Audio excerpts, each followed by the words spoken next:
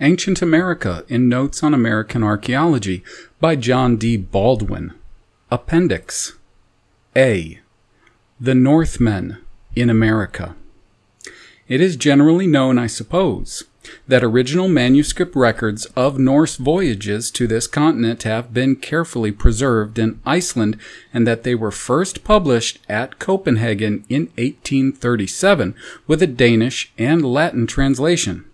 These narratives are plain, straightforward, businesslike accounts of actual voyages made by the Northmen in the 10th and 11th centuries to Greenland, Newfoundland, Nova Scotia, and the coast of Massachusetts and Rhode Island. Within the whole range of the literature of discovery and adventure, no volumes can be found which have more abundant internal evidence of authenticity. It always happens when something important is unexpectedly added to our knowledge of the past that somebody will blindly disbelieve.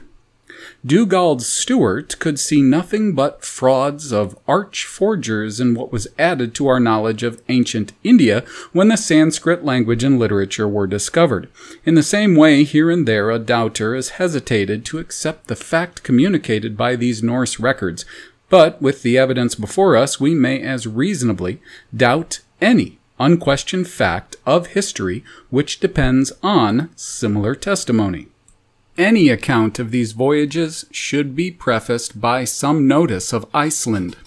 Look at a map at the position of Iceland and you will see at once that it should not be classed as a European island. It belongs to North America. It was, in fact, unknown to modern Europe until the year 861 AD when it was discovered by Naddod, a Norse rover. There is some reason to believe the Irish had previously sailed to this island, but no settlement was established in it previous to the year 875 when it was occupied by a colony of Norwegians under a chief named Ingolf. Owing to civil troubles in Norway, he was soon followed by many of the most intelligent, wealthy, and honorable of his countrymen. Thus, Iceland away in the northern ocean became a place of great interest. In the 10th and 11th centuries, the Icelanders had become eminent among the Norse communities for intellectual culture and accomplishment. They were far superior to their countrymen in Norway. To them we are indebted for the existing records of Scandinavian mythology.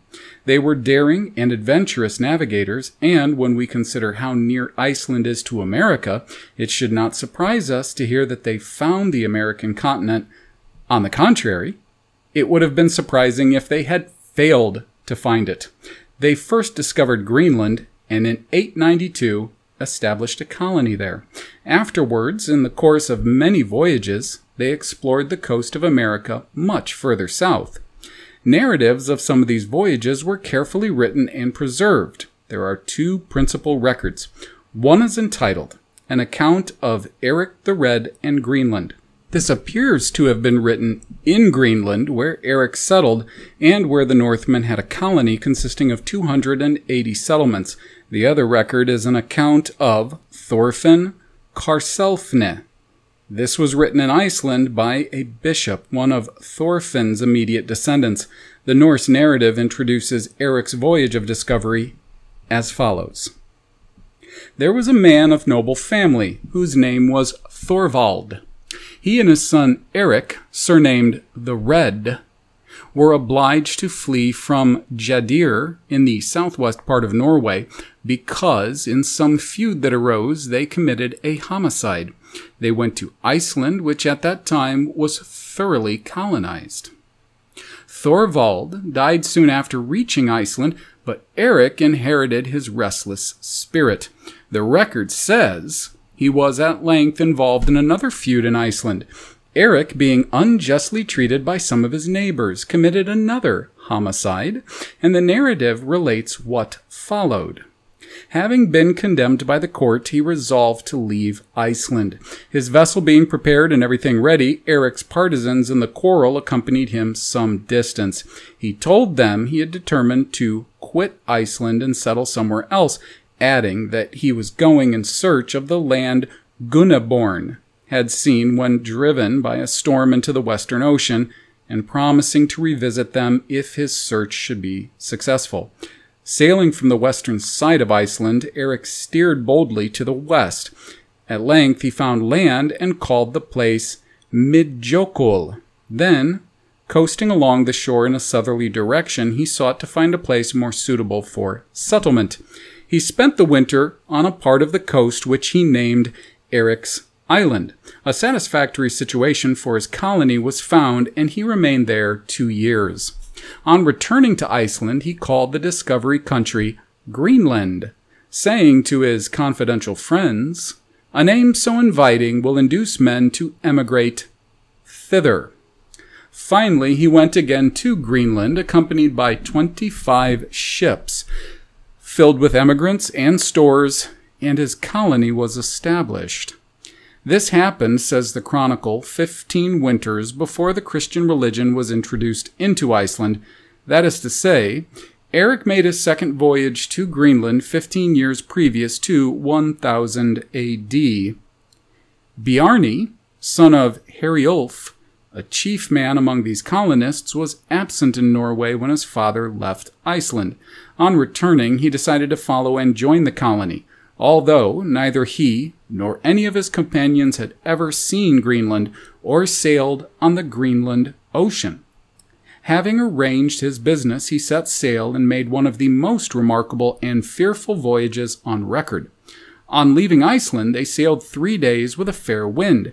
Then arose a storm of northeasterly winds accompanied by very cloudy, thick weather. They were driven before the storm for many days. They knew not whither. At length the weather cleared, and they could see the sky. They then sailed west another day and saw land different from any they had previously known, for it was not mountainous. In reply to the anxious sailors, Bjarni said this could not be Greenland. They put the ship about and steered in a northeasterly direction two days more. Again they saw land which was low and level. Bjarni thought this could not be Greenland. For three more days they sailed in the same direction and came to a land that was mountainous and covered with ice. This proved to be an island around which they sailed. Steering towards the north, they sailed four days and again discovered land, which Bjarni thought was Greenland, and so it proved. They were on the southern coast near the new settlement. It is manifest that the first land Biarni saw was either Nantucket or Cape Cod. The next was Nova Scotia around Cape Sable, and the island around which they coasted was Newfoundland. This voyage was made 507 years earlier than the first voyage of Columbus. Biarni's report of his discoveries was heard with great interest and caused much speculation, but the settlers in Greenland were too busy making their new homes to undertake voyages in that direction immediately. Fourteen years later, Leif, a son of Eric the Red, being in Norway, was incited to fit out an expedition to go in search of the strange lands Bjarni had seen. On returning to Greenland, he had an interview with Bjarni and brought his ship, which he fitted out and manned with 35 men. The first land seen by Leif after he sailed from Greenland was the island around which Bjarni sailed. This he named Helluland, the land of broad shores. Sailing on towards the south, they came next to a land that was low and level and covered with wood. This they called Markland, the land of woods. The narrative goes on. They now put to sea with a northeast wind and sailing still towards the south after two days touched an island, Nantucket, question mark, which lay opposite the northeast part of the mainland. Then they sailed through a bay between the island and a cape running northeast and, going westward, sailed past the cape.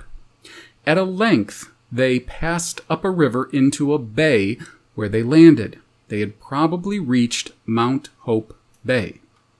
They constructed rude dwellings and prepared to spend the winter at this place. It was about mid autumn, and finding wild grapes, they called the country Vinland. Leif and his people were much pleased with the mildness of climate and goodness of the soil. The next spring, they loaded their vessels with timber and returned to Greenland, where Eric the Red having died, Leif inherited his estate and authority and left exploring expeditions to others. The next year, Leif's brother, Thorvald, went to Vinland with one ship and 30 men, and there passed the winter. The following summer, he explored the coast westward and southward and seems to have gone as far south as the Carolinas. In the autumn, they returned to Vinland, where they passed another winter. The next summer, they coasted around Cape Cod towards Boston Harbor, and getting around on Cape Cod, they called it Kielarness, Keel Cape.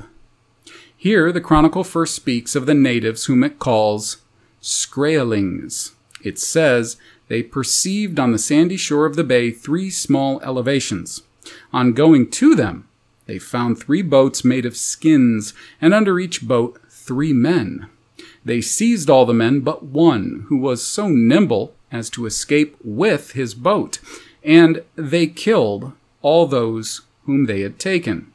The doctrine of natural enemies was more current among the Old Northmen than that of human brotherhood. The retribution followed swiftly. They were presently attacked by a swarm of natives in boats. The Skraelings were beaten off, but Thorvald, being fatally wounded in the skirmish, died and was buried on a neighboring promontory. His companions, after passing a third winter in Vinland, returned to Greenland, having been absent three years.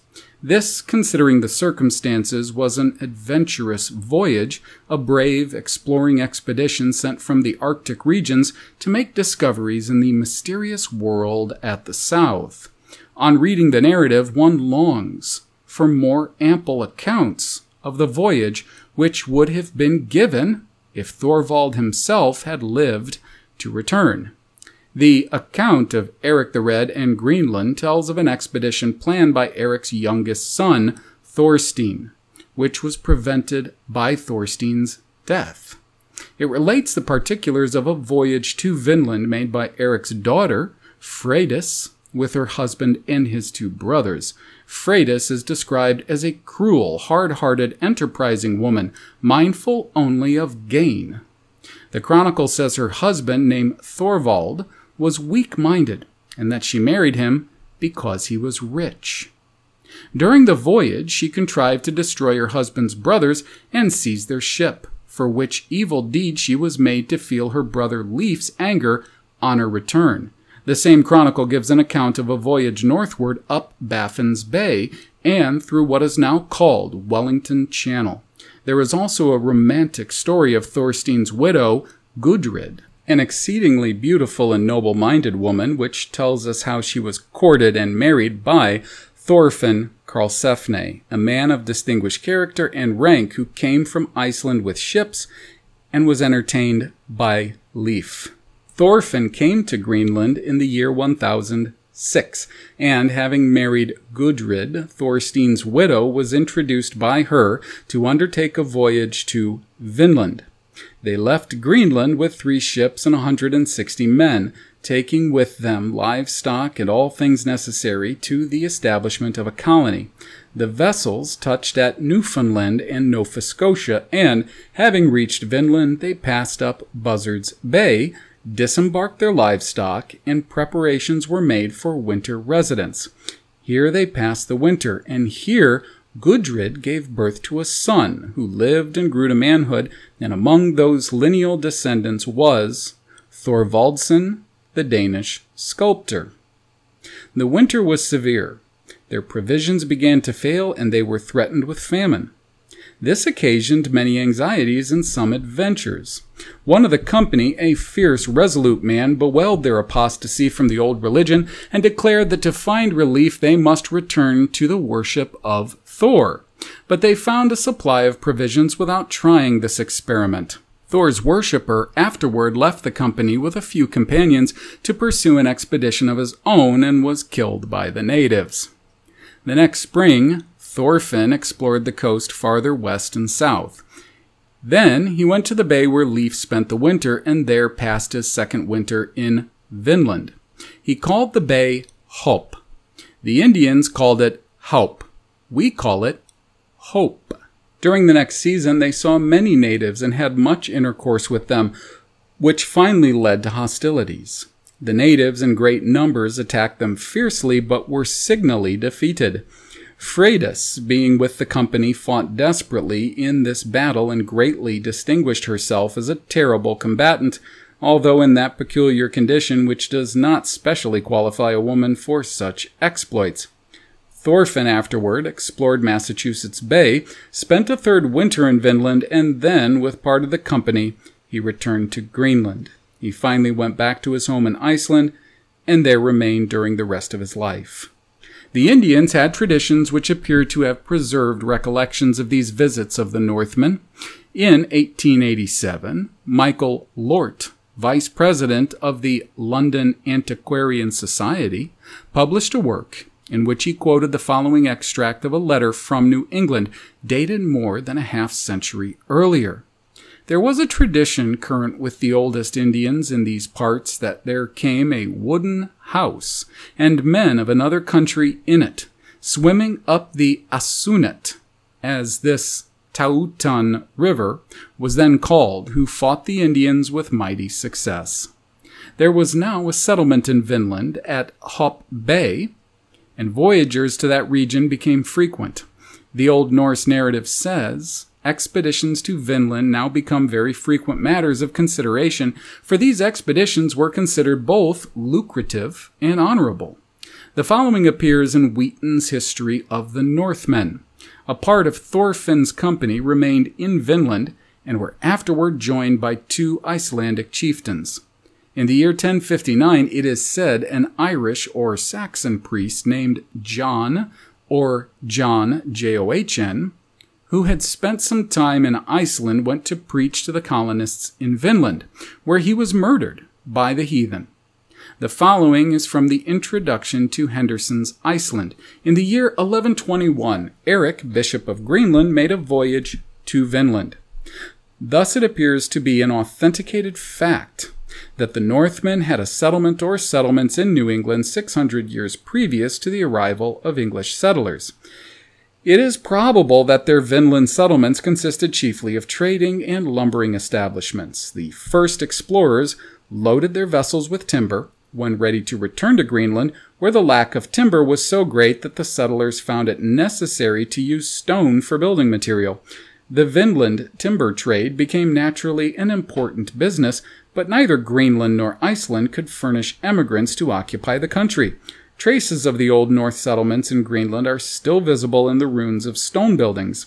Near the Bay of Igalito in Greenland are remains of a stone church. Vinland was covered with great forests, and there it was much easier and cheaper to build houses of wood. The Norse records speak also of a region south of Vinland to which voyages were made. It is called Huitramanaland. Indeed, two great regions farther south are mentioned. There is a romantic story of one Bjorn Asbrandsson, a noble Icelander who, being crossed in his matrimonial desires, went away towards Vinland, but his vessel was driven much farther south by a storm. Nothing was heard of him until part of the crew of a Norse vessel on a voyage to Huitramanaland were captured by the natives among whom Bjorn was living as a chief. He discovered an old acquaintance among the prisoners whom he found means to release. He talked freely with his old friend of the past and of Iceland, but would not leave his savage friends. How little we know of what has been in the past ages, notwithstanding our many volumes of history. We listen attentively to what gets a wide and brilliant publication and either fail to hear or doubt everything else. If these Norse adventurers had sailed from England or Spain, those countries being what they were in the time of Columbus, their colonies would not have failed, though lack of men and means to support and extend them, and the story of their discoveries would have been told in every language and community of the civilized world. But the little communities in Iceland and Greenland were very different from rich and powerful nations. Instead of being in direct communication with the great movements of human life in Europe, recorded in what we read as history, They were far off in the Northern Ocean and out of Norway, almost unknown to Europe. Afterward, when the name and discoveries of Columbus had taken control of thought and imagination, it became difficult for even intelligent men with the Old Norse records before them to see the claims of the Northmen. B. The Welsh in America. The story of the immigration to America of Prince Madoc or Madaj is told in the old Welsh books as follows. About the year 1168 or 1169 AD, Owen Gwynedd, ruling prince of North Wales, died, and among his sons there was a contest for the succession which became angry and fierce, produced a civil war. His son Madoc, who had command of the fleet, took no part in this strife. Greatly disturbed by the public trouble and not being able to make the combatants hear reason, he resolved to leave Wales and go across the ocean to the land at the west. Accordingly, in the year 1170 AD, he left with a few ships, going south of Ireland and steering westward. The purpose of this voyage was to explore the western land and select a place for settlement. He found a pleasant and fertile region where his settlement was established. Leaving 120 persons, he returned to Wales, prepared 10 ships, prevailed on a large company, some of whom were Irish, to join him, and sailed again to America. Nothing more was ever heard in Wales of Prince Madoc or his settlement. All this is related in old Welsh annals preserved in the abbeys of Conway and Strathfleur. These annals were used by Humphrey Llwyd in his translation and continuation of Caradoc's History of Wales, the continuation extending from 1157 to 1270 AD. This emigration of Prince Madaj is mentioned in the preserved works of several Welsh bards who lived before the time of Columbus. It is mentioned by Hakluyt, who had his account of it from writings of the bard Gwytyn Owen, as the Northmen had been in England over 150 years when Prince Madaj went forth to select a place for his settlement. He knew very well there was a continent on the other side of the Atlantic, for he had knowledge of their voyage to America, and knowledge of them was also prevalent in Ireland. His emigration took place when Henry II was King of England, but in that age the English knew little or nothing of Welsh affairs in such a way as to connect them with English history very closely. It is supposed that Madaj settled somewhere in the Carolinas, and that his colony, unsupported by new arrivals from Europe and cut off from communication with that side of the ocean, became weak and after being much reduced was destroyed or absorbed by some powerful tribe of Indians. In our colony times and later, there was no lack of reports that relics of Madaj's Welshmen and even their language had been discovered among the Indians, but generally they were entitled to no credit. The only report of this kind having any show of claim to respectful consideration is that of Reverend Morgan Jones made in 1686 in a letter giving an account of his adventures among the Tuscaroras. These Tuscarora Indians were lighter in color than the other tribes, and this peculiarity was so noticeable that they were frequently mentioned as white Indians. Mr. Jones's account of his experiences among them was written in March 1686 and published in the Gentleman's Magazine for the year 1740 as follows Reverend Morgan Jones's statement. These presents certify all persons whatever that in the year 1660, being an inhabitant of Virginia and chaplain to Major General Bennett of Mansoman County, the said Major General Bennett and Sir William Berkeley sent two ships to Port Royal, now called South Carolina which is sixty leagues southward of Cape Fair, and I was sent therewith to be their minister. Upon the 8th of April, we set out from Virginia and arrived at the harbor's mouth of Port Royal the 19th of the same month, where we waited for the rest of the fleet that was to sail from Barbados and Bermuda with one Mr. West, who was to be deputy governor of said place. As soon as the fleet came in, the smallest vessels that were with us sailed up the river to a place called the Oyster Point, where I continued about eight months, all which time being almost starved for want of provisions. I and five more traveled through the wilderness till we came to the Tuscarora country. There, the Tuscarora Indians took us prisoners because we told them that we were bound to Roanoke. That night they carried us to their town and shut us up close, to our no small dread. The next day they entered into a consultation about us, and after it was over, their interpreter told us that we must prepare ourselves to die next morning. Whereupon, being very much dejected, I spoke to this effort in the British or Welsh tongue. Have I escaped so many dangers?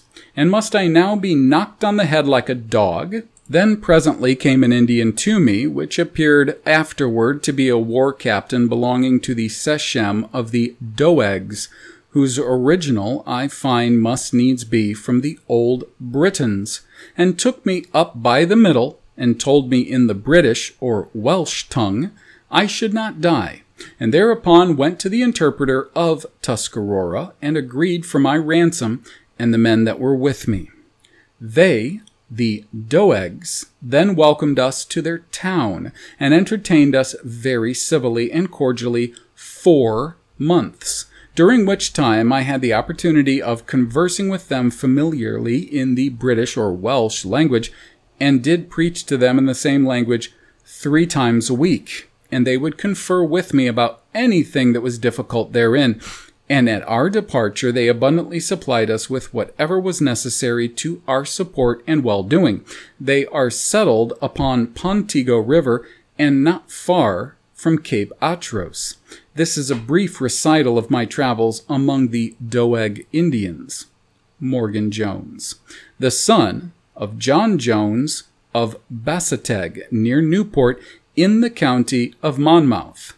I am ready to conduct any Welshmen or others to the country. New York, March 10th, 1685 through 6.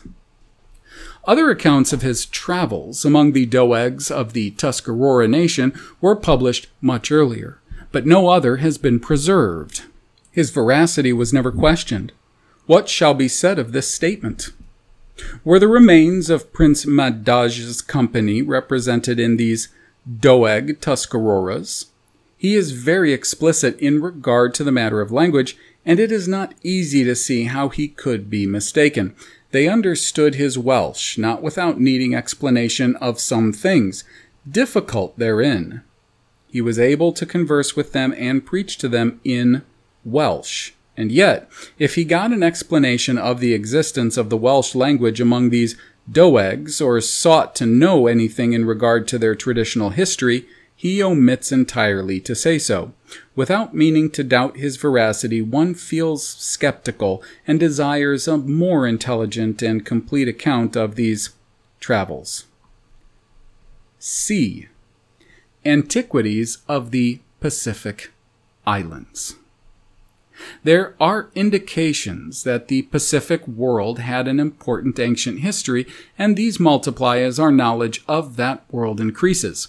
The wide diffusion of Malay dialects in the Pacific Islands suggests the controlling influence by which that ancient history was directed. The ancient remains at Easter Island are known. Two of the great images found there are now in the British Museum. All who have examined this island believe these remains were the work of a former race and that it had formerly an abundant population. It is not generally known that antiquities more important than these exist on many of the other islands of the Pacific Ocean. An educated and very intelligent gentleman who has lived many years on one of these islands and visited a considerable portion of Polynesia finds that the Pacific has antiquities which deserve attention. He has sent me papers containing descriptions of some of them, taken from the diary of an intelligent and observant shipmaster, much of whose life as a mariner has been passed on the Pacific. These papers were prepared for publication in a newspaper at Sydney. The gentleman sending them says in his letter, These researches are not very minute or accurate, but they indicate that there is a vast field ready for exploration in the Pacific as well as in Central America and Egypt. The papers to which I refer begin the ruins observed in an island of Ascension or Fenipe and describe the great temple at Metalanim. This was a large edifice, well built of stone and connected with canals and earthworks. Vaults, passages, and platforms all of basaltic stones are mentioned also.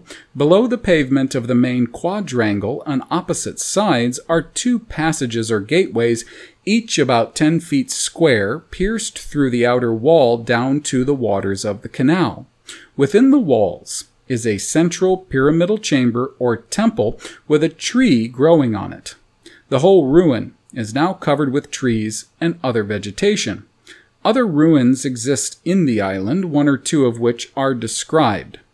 Some are close upon the seashore, others are on the tops of solitary hills, and some are found on plateaus or cleared spaces far inland, but commanding views of the sea. One of the latter kind is a congeries of ruinous heaps of square stones covering at least five or six acres. It is situated on a piece of tableland surrounded by dense forest growths and itself covered with low jungle.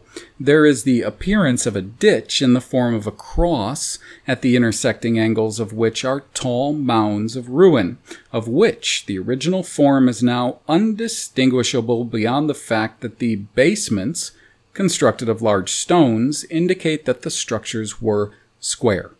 The natives cannot be induced to go near this place, although it abounds in wild pigeons, which they are extremely fond of hunting. These ruined structures were not built by barbarous people such as now inhabit the island of Ascension. There is no tradition relating to their origin or history among the present inhabitants who, it is said, attribute them to Maoli evil spirits. The great temple was occupied for a time, several generations ago, according to the natives, by the shipwrecked crew of a Spanish buccaneer, and relics of these outlaws are still found in its vaults, which they used as storehouses. On many low islands of the Marshall and Gilbert groups are curious pyramids, tall and slender, built of stones. The natives regard them with superstitious fear.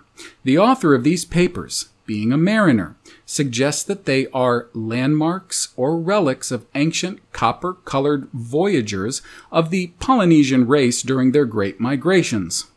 Remarkable structures of this kind are found on Tapateu, one of the Kingsmill Islands, and on Tinian, one of the Ladrones, where also remarkable cyclopean structures are found. They are solid, truncated pyramidal columns, generally about 25 feet high and 10 feet square at the base. The monuments on Tinian were seen by M. Arago, who accompanied Bougainville. According to his description, they form two long colonnades, the two rows being 30 feet apart and seeming to have once been connected by something like roofing. On Swallows Island, some 12 degrees eastward of Tapateu, is a pyramid similar in construction, and on the west side of this island is a vast quadrangular enclosure of stone containing several mounds or probably edifices of some kind, of which the form and contents are not known by reason of their being buried under drift sand and guano. On Strong's Island, and others connected with it are ruins similar to those at Metalanim. On Lele, which is separated from Strong's Island at the harbor by a very narrow channel, there is a conical mountain surrounded by a wall some 20 feet high and of enormous thickness. The whole island appears to present a series of cyclopean enclosures and lines of great walls everywhere overgrown with forest.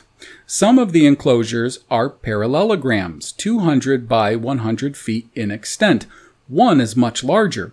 The walls are generally 12 feet thick, and within are vaults, artificial caverns, and secret passages.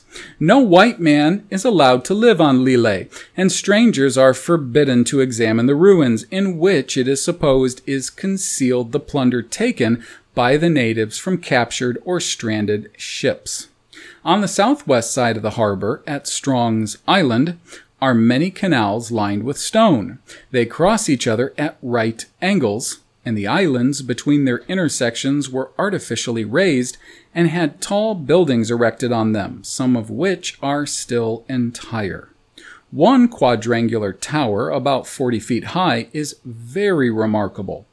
The forest around them is dense and gloomy. The canals are broken and choked with mangroves. Not more than 500 people now inhabit these islands. Their tradition is that an ancient city formerly stood around this harbor, mostly on Lele, occupied by a powerful people whom they call Anut, and who had large vessels in which they made long voyages east and west, many moons being required for one of these voyages. Great stone structures, on some of Navigator's islands, of which the natives can give no account, are mentioned without being particularly described. Some account is given of one remarkable structure on a mountain ridge, 1500 feet above sea level and near the edge of a precipice 500 feet high, is a circular platform built of huge blocks of volcanic stone. It is 150 feet in diameter and about 20 feet high. On one side was the precipice and on the other a ditch that may have been originally 20 feet deep. Trees six feet in diameter are now growing in the ruins of this platform. Remarkable ruins exist on some of the Marquesas Islands, but they have not been clearly described.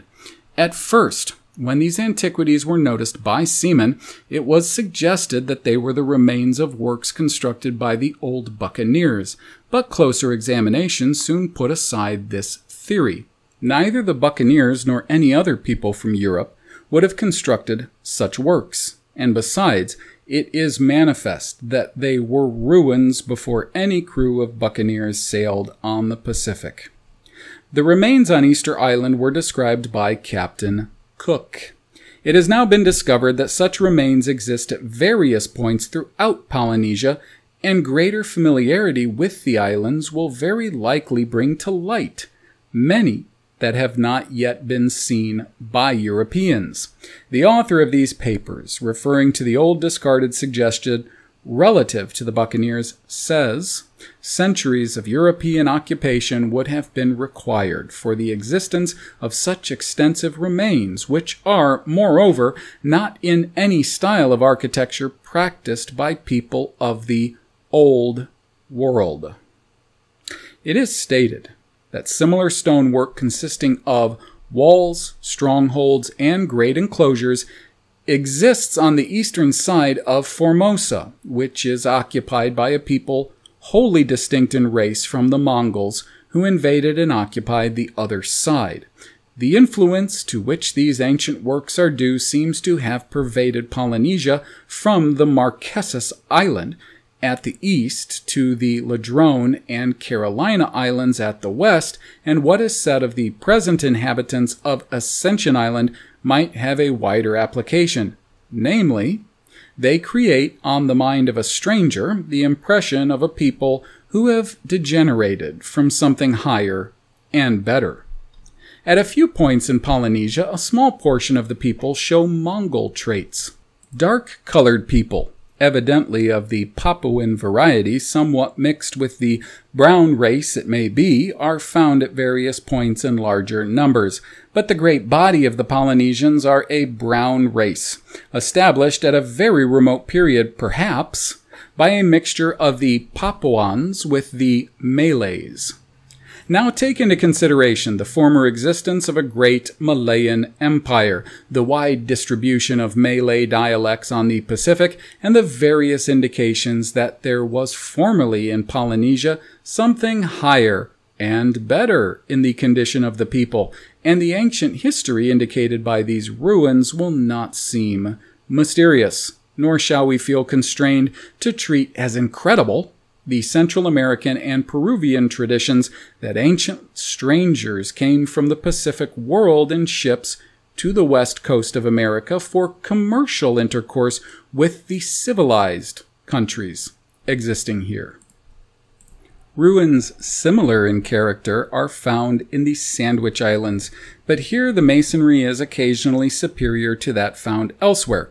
A gentleman interested in archaeological inquiries gives the following account of a Hawaiian ruin which he visited in the interior about 30 miles from Hilo.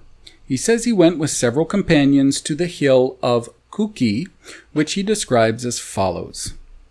The hill is so regular in its outline that it appears like a work of art, a giant effort of the mound builders. Its general form resembles very much the pyramid of Cholula in Mexico, and from this fact I felt a great interest in climbing it. We proceeded, Conway, Eldhart, Kaiser, and I, on foot up the grassy slope of the hill. There was an absence of all volcanic matter, no stone on the hill except what had been brought there by the hand of man. As we arrived near the summit, we came upon great square blocks of hewn stone overgrown by shrubbery, and on reaching the summit, we found that it had been leveled and squared according to the cardinal points and paved. We found two square blocks of hewn stone embedded in the earth in an upright position, some 15 feet apart, and ranging exactly east and west. Over the platform was rank grass and a grove of coconuts some hundred years old. Examining farther, I found that the upper portion of the hill had been terraced. The terraces near the summit could be distinctly traced, and they had evidently been faced with hewn stone. The stones were in perfect squares, if not less than three feet in diameter, many of them of much greater size. They were composed of a dark vitreous basalt, the most durable of all stone. It is remarkable that every slab was faced and polished upon every side so that they could fit together like sheets of paper. They reminded me much of the polished stones in some of the walls at Tiwanaku and other ruins in Peru, Many of the blocks were lying detached. Probably some had been removed, but there were still some 30 feet of the facing on the lower terrace partly in position. But all showed the ravages of time and earthquakes and were covered with accumulated soil, grass, and shrubbery. Conway and myself, in descending the hill, had our attention attracted by a direct line of shrubbery running from the summit to the base of the hill, on the western side, to the coconut grove below. Upon examination, we found it to be the remains of a stairway, evidently of hewn stone, that had led from the foot of the hill to the first terrace, a height of nearly 300 feet. Within this stairway, near the base, we found a coconut tree growing more than 200 years old, the roots pressing out the rocks. The site for a temple is grand and imposing, and the view extensive, sweeping the ocean, the mountains, and the great lava plain of Puna. It was also excellent in a military point of view as a lookout. From the summit, it appeared as an ancient green island, around which had surged and rolled a sea of lava, and so it evidently has been. By whom and when was this hill terraced and these stones hewn. There is a mystery hanging around this hill which exists nowhere else in the Sandwich Islands. The other structures, so numerously scatter over the groups, are made of rough stone. There's no attempt at a terrace. There is no flight of steps leading to them. There is no hewn or polished stone, nor is there any evidence of the same architectural skill evinced.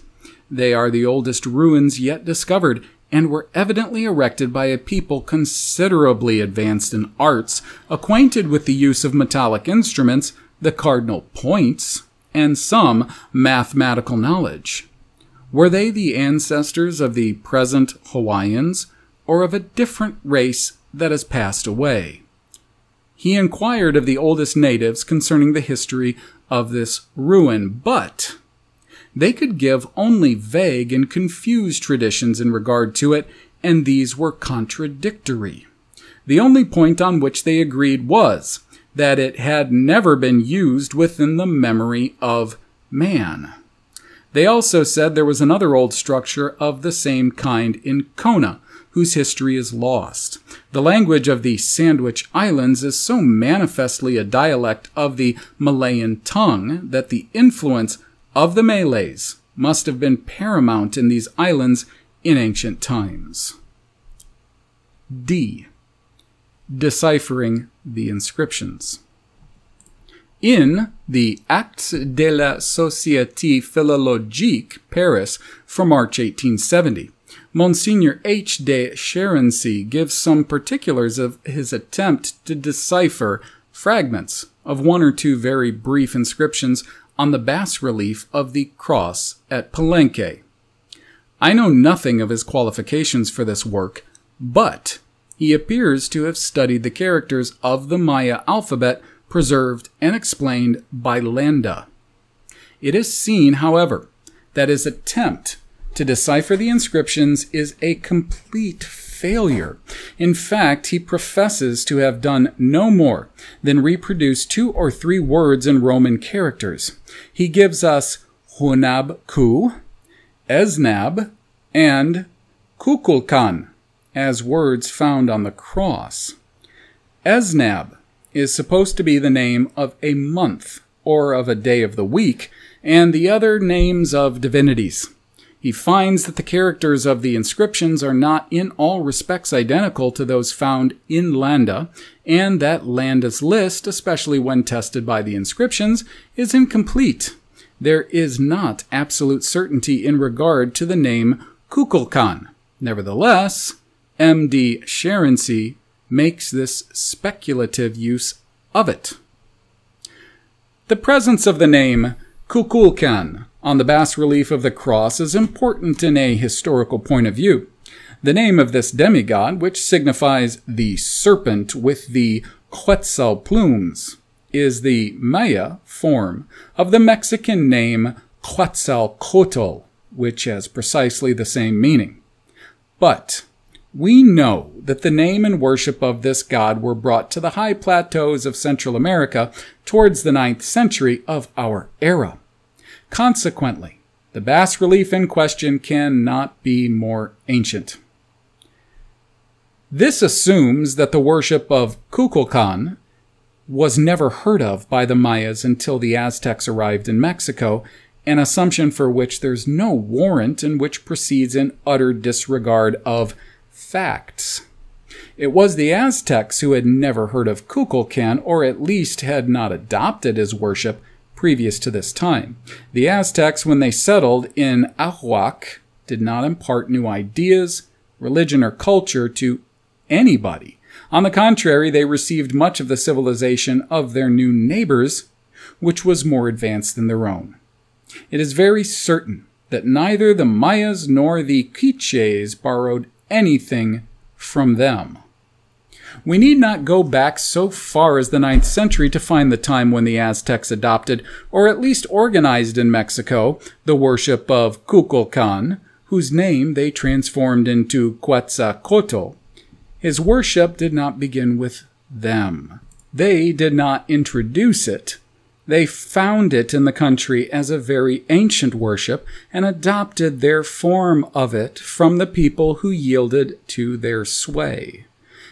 If M.D. Charencey will inquire with a little more care, he will discover that Kukulkan was one of the very oldest personages in Central American mythology, as Kan was one of the oldest in that of Peru.